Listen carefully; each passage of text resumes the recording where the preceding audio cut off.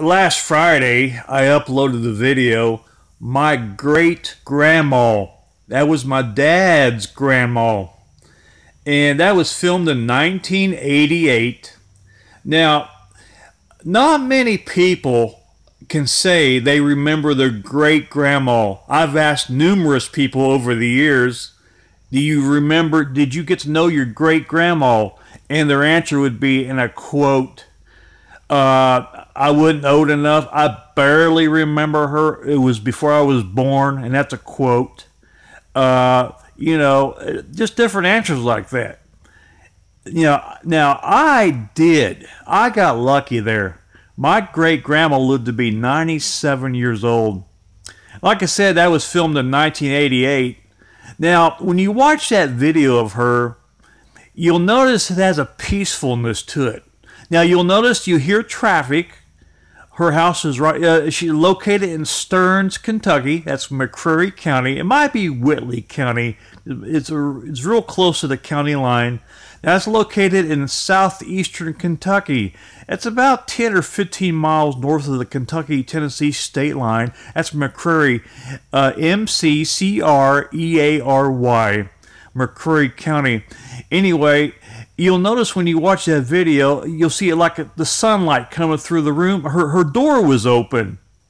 Now, as you watch that video, you'll notice how peaceful the video seems. That's how peaceful the 1980s was. Yeah.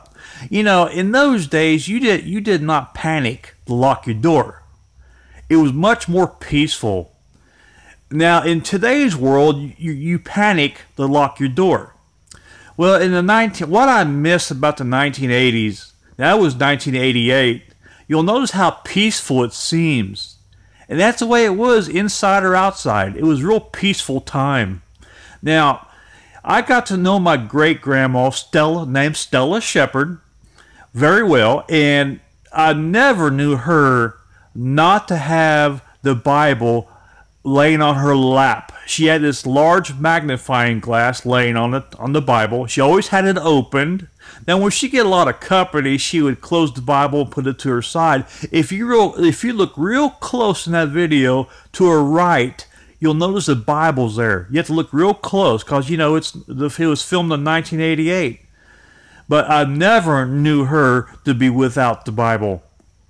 And you ought to heard her talk about the end of time, the plagues of the the plagues in the Bible. Nothing personal to nobody. Don't send me no mean comments. Respect me and respect her. Uh, you know, plagues of the Bible, living together, not being married, AIDS, I, you know, well, the other plagues in the Bible, she used to say, once those plagues are fulfilled, then God will come back. She also once said, and then she said this with a chuckle, a light laugh. She says, and I quote her again, she says, I don't know why God's let me live this long. The only thing I can think of, He's wanted me to preach the Word of God. So she got to preach it on VHS when her when her uh, grandson recorded her and I'm getting to uh, record it over the world on this in this video. And you know, she was a wonderful. She was a vegetarian. She was a wonderful person. She was an Adventist. Uh, now, I don't totally agree with all things Adventists do, but that's beside the point. She believed in the same God. I tell you what, you ought to heard her talk about the end of time. Now, while she talked about in 1988, oh, by the way, oh, it has come true today. By the way, uh, you'll notice in the video, her son, her first son, she had 12 kids, her first son said, uh, uh, well, you know, they asked her how old she is, and if you watch the video, you'll hear her say 90, 94 years old, October and you'll she was born October. Anyway, you'll hear her uh, son, uh, El, uh, I think it's Elmer, uh, say you're all invited to her birthday. Now I did go to her birth 95th birthday. I I wasn't there when they filmed her. I don't believe. I went too far away. I was uh, w- when they filmed her in 1988. I I lived about 15 miles away. Yeah, I lived pretty close to her. Uh, not you know my mom and dad but uh, when you when you watch that film, I only lived ten or fifteen miles from her. Uh, she, she was she was the most wonderful person you can imagine. Uh, she never seen. I never never heard her cuss. I never never seen her get mad.